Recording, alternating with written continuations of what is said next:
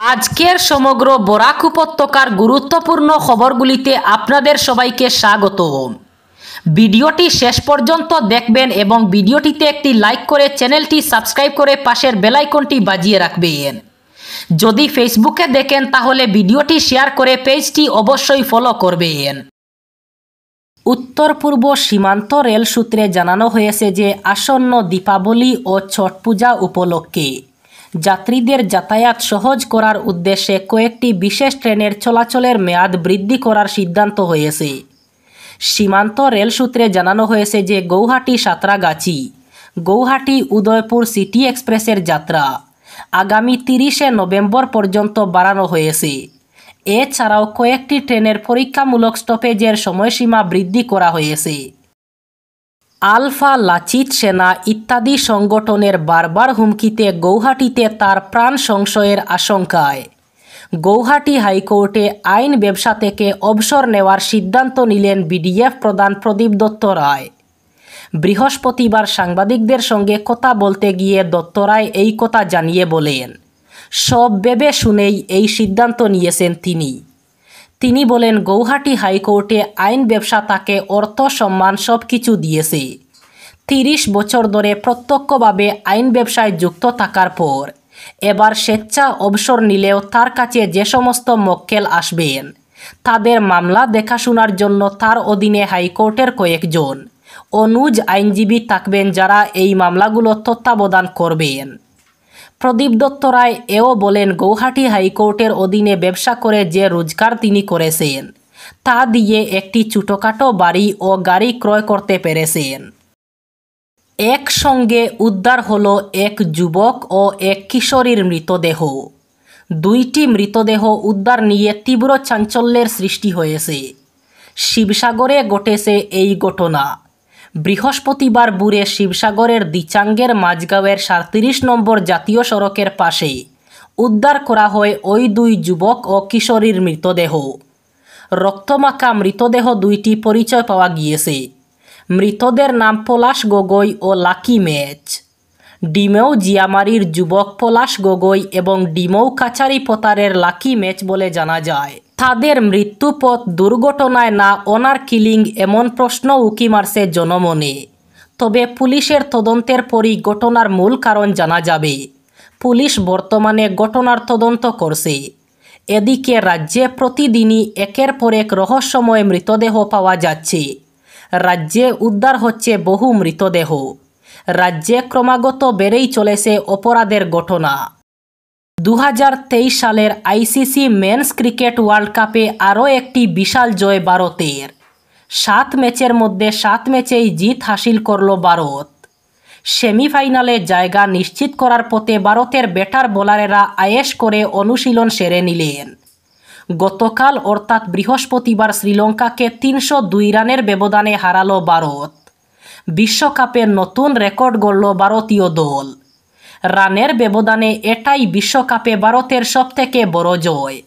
এর আগে বিশ্বকাপে ভারতের সবথেকে বড় ব্যবধানে জয় ছিল বারমুডার বিরুদ্ধে। দু হাজার সাত সালের বিশ্বকাপে দুইশো সাতান্ন রানে জিতেছিল অধিনায়ক রাহুল দ্রাবিদের ভারত। বহিরাগত নিযুক্তির ঘটনাকে কেন্দ্র করে চরম উত্তপ্ত মেহেরপুরের আঞ্চলিক ইউনানি অনুসন্ধান কেন্দ্র। চতুর্থ শ্রেণির কর্মী নিয়োগে স্থানীয়দের বঞ্চিত করে। বহিরাগতদের নিযুক্তি দেওয়া হয়েছে এমন অভিযোগে প্রতিবাদকারীরা রাস্তায় নেমে আসেন। বৃহস্পতিবার স্থানীয়দের নিয়োগের দাবিতে কাঁপিয়ে তুলেন হাসপাতাল চত্বর। তারা বলেন, রাজ্যের প্রাক্তন মুখ্যমন্ত্রী সর্বানন্দ সোনোয়াল এই ইউনানি কেন্দ্রের স্থাপনা করে বলেছিলেন, এখানে শুধু স্থানীয়দের অগ্রাধিকার দেওয়া হবে, কিন্তু বর্তমানে তার উল্টোটা দেখা যাচ্ছে। স্থানীয়দের দাবি, তারা অনেক সহযোগিতাও করেছেন, এমনকি অনেকে জমিও দান করেছেন। তারপরও তাদের বঞ্চিত করা হচ্ছে। উত্তম যাদব সরজু গোয়ালারা বলেন, প্রাক্তন বিধায়কের ঘনিষ্ঠ। চক্রবর্তী পদবীর এক ব্যক্তি অর্থের বিনিময়ে অন্য স্থানের লোকদের নিযুক্তি দিয়েছেন। তারা বলেন, স্থানীয়দের নিযুক্তি না দিলে আন্দোলন অব্যাহত থাকবে। এই বছর ফেব্রুয়ারিতে রেলওয়ে রেড টারিফ রুল দু হাজারকে পরিবর্তন করে। লিথিয়াম লিথিয়াম আয়ন ব্যাটারি ও এই জিনিসগুলি দিয়ে তৈরি পণ্য। রেলের পরিষেবার মাধ্যমে পরিবহনের অনুমতি দেওয়া হয়। এই পদক্ষেপের ফলে মোবাইল ফোন, ল্যাপটপ ও ছোট বৈদ্যুতিক গাড়িসহ বিভিন্ন জিনিস রেলের পার্সেল পরিষেবার মাধ্যমে এক স্থান থেকে অন্য স্থানে পাঠানো সম্ভব হয়। তবে এবার ভারতীয় রেল লিথিয়াম এবং লিথিয়াম আয়ন ব্যাটারি পরিবহনের নতুন নিয়ম লাগু করেছে। ফলে এখন থেকে লিথিয়াম এবং লিথিয়াম আয়ন ব্যাটারি পরিবহনে রেলের নিয়ম অনুযায়ী প্যাকেজিং করতে হবে।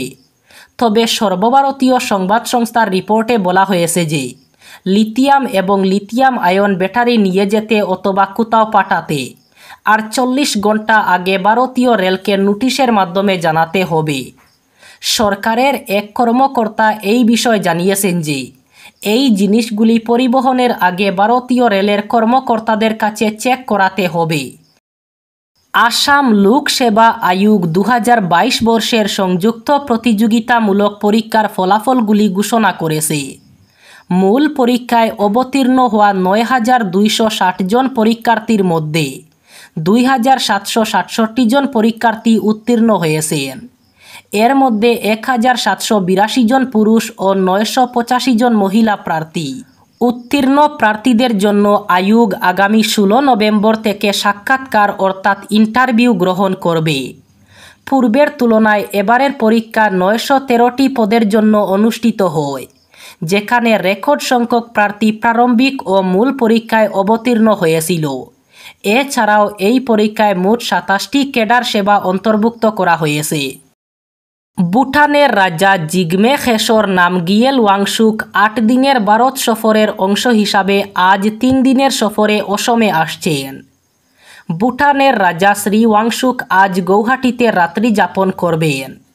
মুখ্যমন্ত্রী ডক্টর হিমন্ত বিশ্ব শর্মা আজ ভুটানের রাজার সঙ্গে সৌজন্যমূলক সাক্ষাৎ করবেন। এদিকে ভুটানের রাজার সম্মানে গৌহাটির প্রশাসনিক পদাধিকারী মহাবিদ্যালয়ে রাজ্যপালের আতিথেয়তায় আজ নৈশভোজেরও আয়োজন করা হয়েছে।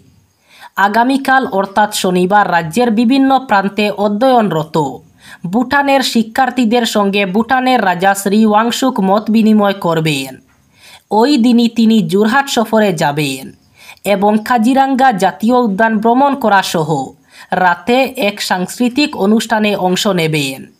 কাজিরাঙ্গার বন্যপ্রাণী বিশেষজ্ঞদের সঙ্গেও মত বিনিময় করবেন তিনি। ভুটানের রাজার সফরের পরিপ্রেক্ষিতে আগামী চার ও পাঁচ নভেম্বর কাজিরাঙ্গা জাতীয় উদ্যানের কোহরা বনাঞ্চল বন্ধ থাকবে। তবে বাগরি ও অগ্রাতলি বনাঞ্চল পর্যটকদের জন্য খোলা থাকবে বলে উদ্যান কর্তৃপক্ষ জানিয়েছেন। তেজপুরের এক শিশু গৃহ থেকে তিন তিনটি শিশুকন্যা নিখোঁজ হওয়ার ঘটনায় চাঞ্চল্য দেখা দিয়েছে। খেলাধুলা করতে আবাসিক অন্য শিশুদের সঙ্গে গিয়েছিল নিখোঁজ তিন শিশুকন্যা। ঘটনা বুধবার শোনিতপুর জেলা সদর তেজপুরের লালমাটিতে অবস্থিত। স্নেহবন্ধন শিশুগৃহে সংগঠিত হয়েছে। অসম সরকারের অধীন রাজ্য শিশু সুরক্ষা সমিতির সহযোগিতায়। কিশোর ন্যায় শিশুর যত্ন ও সুরক্ষা আইন দু হাজার অধীনে স্থাপন করা হয়েছিল স্নেহবন্ধন শিশুগৃহ জানা গিয়েছে, প্রতিদিন স্নেহবন্ধন শিশুগৃহে আশ্রিত বাইশ জন শিশু। খেলাধুলা করতে যায় লাগোয়া একটি মাঠে। এদিনও তারা খেলাধুলা করতে ওই মাঠে গিয়েছিল। কিন্তু উনিশটি শিশু তাদের আবাসনে ফিরে গেলেও ফিরেননি তিন শিশু কন্যা। ঘটনার পরিপ্রেক্ষিতে তৎক্ষণাৎ লালমাটি পুলিশ ফাঁড়িকে তিনটি শিশুকন্যা নিখোঁজ সংক্রান্ত এফআইআর করেন শিশুগৃহ কর্তৃপক্ষ। এফআইআর অনুযায়ী নিখোঁজ তিন শিশু যথাক্রমে ডেকিয়াজুলি, ঠেলামারা ও ডিমাপুরের বাসিন্দা। এফআইআরের ভিত্তিতে মামলা রুজু করে লালমাটি ফাঁড়ির পুলিশ তদন্তে নেমেছে বলে জানা যায়।